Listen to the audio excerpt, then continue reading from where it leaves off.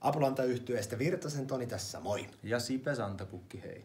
Joulu on antamisen juhlaa ja antaminen on meille ilon asia. Mehän joka keikalla annamme aika paljon itsestämme. Ja enitenhän me annamme silloin, kun me tehdään valtava spektaakkeli, sillä sitä rakennetaan vuosi, kaksi vähintään. Ja nyt me halutaan antaa kaksi lippua jollekin teistä meidän Hartwell Arenan keikalle. Antaminen saa oman mielen tuntumaan aika hyvältä. Plus, että sillä voi tarjota jollekin jotain sellaista, mitä hän ei ehkä muuten kokisi. Autuampi antaa on kuin ottaa.